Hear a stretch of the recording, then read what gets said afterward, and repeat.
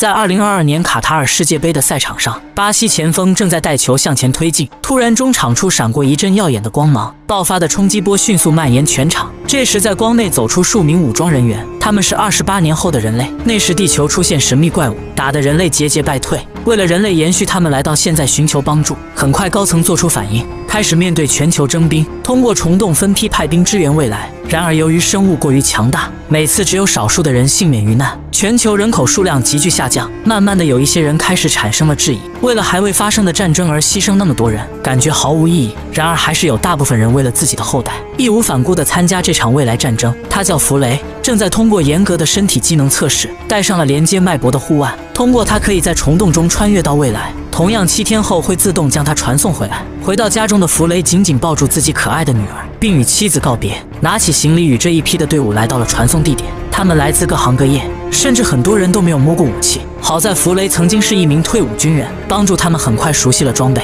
随着虫洞的开启，一批接着一批的被传送了出去。结果这时发现定位出错，这让原本应该传送到海滩的他们出现在一座城市的上空。众人下饺子般掉了下去，结果显而易见，没有开始就已经损伤过半。自带光环的弗雷掉进了水中，待到大家爬出水面，看到眼前的城市，心里顿时凉了一截。此时的城市早已残破不堪。这时，作为指挥官的苏利找到了他们的坐标，让他们去前方的大楼救援科研人员。接到任务的弗雷很快进入状态，带领大家穿过街道，找到了科研所的大楼。结果这里早已沦陷，只好在废墟中找到研究成果，将他们带回基地。这时，大量生物朝这边赶来，弗雷赶紧带领大家通过楼梯撤离。这时，头顶一只怪物出现，长长的触角可以射出钉子般的武器，众人赶紧对他疯狂射击，结果子弹在他的身上丝毫不起作用，只好边打边往后退。通道内的弗雷为了掩护大家离开，选择正面与怪物硬刚，结果子弹打光也没伤他分毫，抓起旁边的斧子就冲了上去。这时有作战经验的小黑回头营救，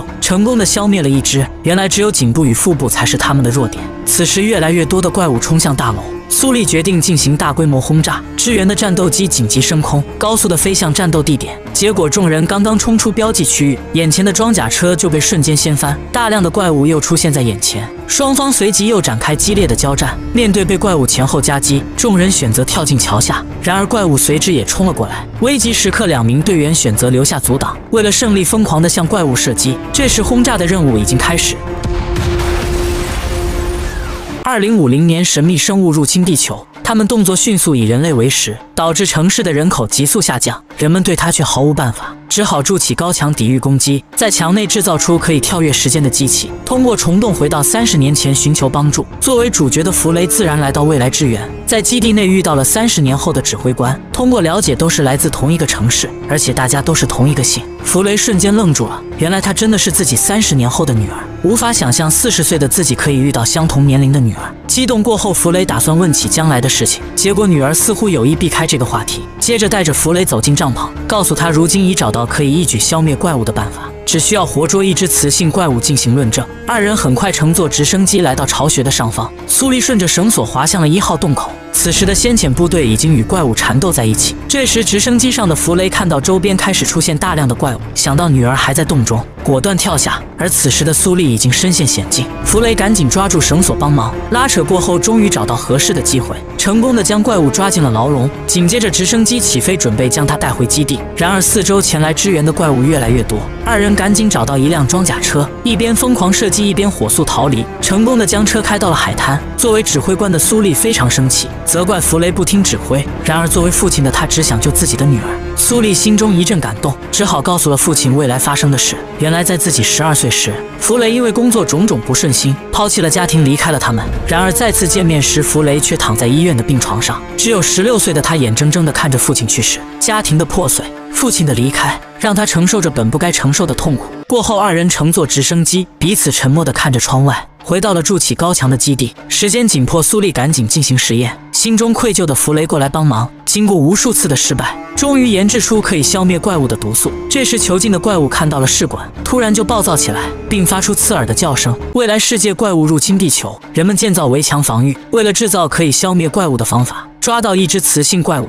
然而，当人们研制出可以消灭它的毒素时，怪物看着试管开始狂暴起来，接着发出尖锐的声音。此时的城墙外，无数只怪物犹如潮涌般冲了过来，将城墙围得水泄不通。人类爬上城墙做出反击，可是由于怪物数量过多，很多怪物直接冲进基地内部。这时，指挥官不慎被怪物射出的钉子击中，作为他的父亲赶紧将他拉起来到高塔躲避。此时，整个基地一片火海。人类即将失败。这时，苏丽掏出研制成功的药物，交给了父亲，让他回到过去，将它大量生产，来面对三十年后的灾难。此时的弗雷对女儿百般不舍，然而却没有更好的办法。突然，一只怪物出现，迅速的将苏丽拖下平台。弗雷紧跟着想抓住女儿。这时，手腕的时间跳跃仪器启动，一阵闪光过后，回到了三十年前。清醒过后的他本打算再穿越回去，结果告知虫洞已经损坏。虽然成功的活着回来，而此刻的他却高兴不起来。回到家中，看到九岁的女儿，心中更加的悲痛。晚上将一切经历说给了妻子听，心痛之余，二人决定要为女儿做些什么。